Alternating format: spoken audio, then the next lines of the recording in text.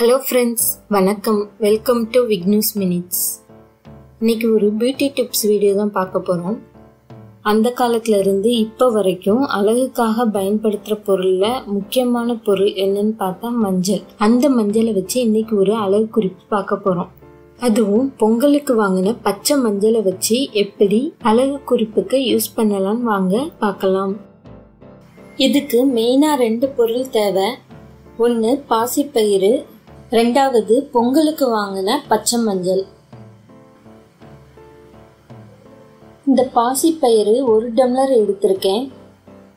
இதை நல்லா கழுவி சுத்தம் செஞ்சுட்டு திரும்ப தண்ணியை ஊற்றி நைட்டு ஃபுல்லாக ஊற வைக்கணும்.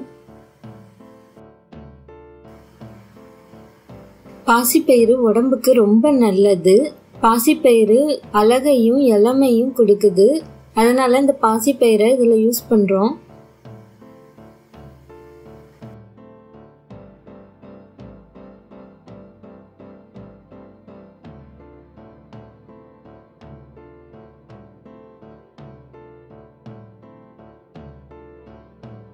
நைட்டு ஃபுல்லாக ஊறின பாசிப்பயிறு இப்படி இருக்கு.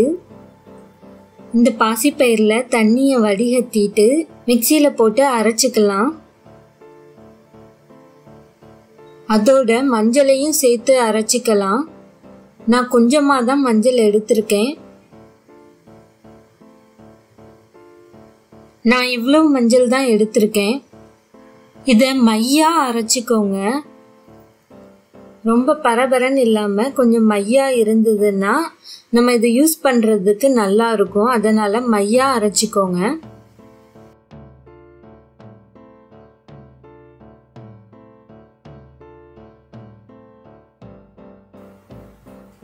மஞ்சள் கிடைக்கும் போதெல்லாம் இப்படி யூஸ் பண்ணிக்கிடலாம்.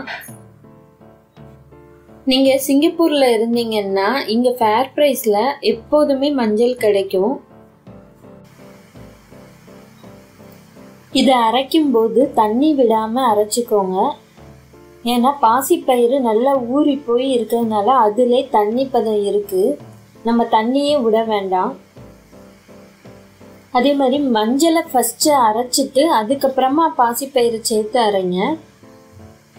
எனக்கு சேர்த்து அரைக்கும் போது மஞ்சள் மட்டும் கொஞ்சம் திப்பி திப்பியாக இருந்தது. அதனால மஞ்சளை ஃபஸ்ட்டு அரைச்சிக்கோங்க. இதை மையா அரைச்சாச்சு. இதை வந்து ஒரு பவுலில் மாற்றிக்கிடலாம் இதை நம்ம ஃப்ரிட்ஜில் வச்சு யூஸ் பண்ணிக்கிடலாம். ஃப்ரிட்ஜில் வந்து இது பத்து நாளுக்கிட்ட இருக்கும். ஒன்றும் செய்யாது. இதை நம்ம தேவையான அளவு மட்டும் டெய்லி எடுத்து யூஸ் பண்ணிக்கிடலாம். ஈரம் இல்லாத காஞ்ச ஸ்பூனை வச்சு இதை எடுக்கணும். ஈரப்படாமல் பார்த்துக்கோங்க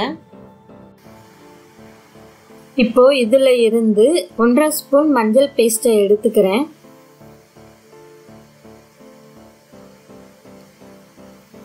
ஒரு ஸ்பூன் பச்சை பால் எடுத்திருக்கேன்.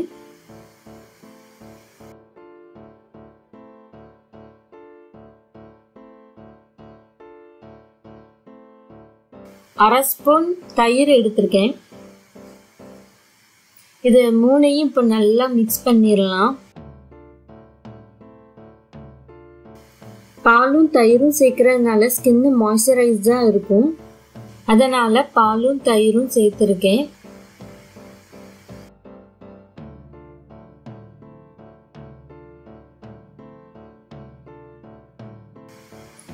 ஒரு ஸ்பூன் ஹனி சேர்த்துக்கிடலாம். இதுவும் ஸ்கின்னுக்கு ரொம்ப நல்லது. இது எல்லாத்தையும் சேர்த்து இப்போ மிக்ஸ் பண்ணிடலாம்.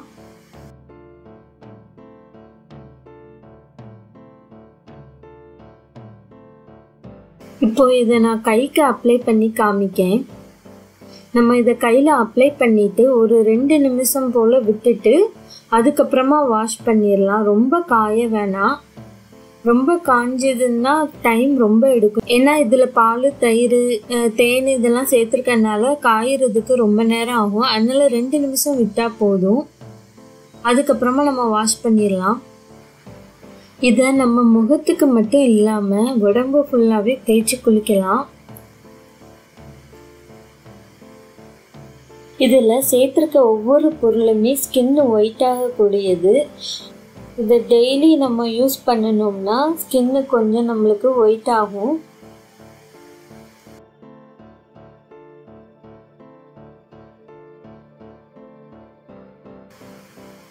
ரெண்டு நிமிஷத்துக்கு பிறகு இப்படி தான் இருக்கு. இதை வாஷ் பண்ணிட்டு பார்க்கலாம். வாஷ் பண்ண பிறகு இப்படி தான் இருக்கு. பொங்கலுக்கு வாங்குற மஞ்சளை நான் வருஷம் வருஷம் இப்படி தான் யூஸ் பண்ணுவேன். இப்படி யூஸ் பண்றதுனால ஸ்கின் ஒயிட்டன் ஆகும் சாஃப்டா இருக்கும். பருக்கள் வராது பருவந்த தழும்பு கரும்புள்ளி இதெல்லாம் இருந்தா கூட இது உபயோகப்படுத்தப்படுத்த உங்களுக்கு வந்து அது அப்படி மங்கி போயிடும் அதனால இந்த மாதிரி பச்சை மஞ்சள் கிடைச்சா நீங்க விடாதீங்க. இதை வாங்கி தேய்ச்சி குளிங்க. இது குளிக்கிறதுனால அவ்வளவு பெனிஃபிட் இருக்கு. அதனால் உங்களுக்கு கிடைச்சா இப்படி ட்ரை பண்ணி பாருங்க. ட்ரை பண்ணி பார்த்துட்டு உங்களுக்கு நல்லா இருந்ததுன்னா கமெண்ட்ல சொல்லுங்க. இந்த வீடியோ பிடிச்சிருந்தா லைக் பண்ணுங்க. உங்க ஃப்ரெண்ட்ஸு ரிலேட்டிவ்ஸ்க்கும் ஷேர் பண்ணுங்க. என் வீடியோஸை பார்க்கணும்னா சப்ஸ்கிரைப் பண்ணுங்க. இனிமே போடுற வீடியோஸை தொடர்ந்து பார்க்கணும்னா பக்கத்தில் இருக்கிற பெல் பட்டனை ப்ரெஸ் பண்ணிடுங்க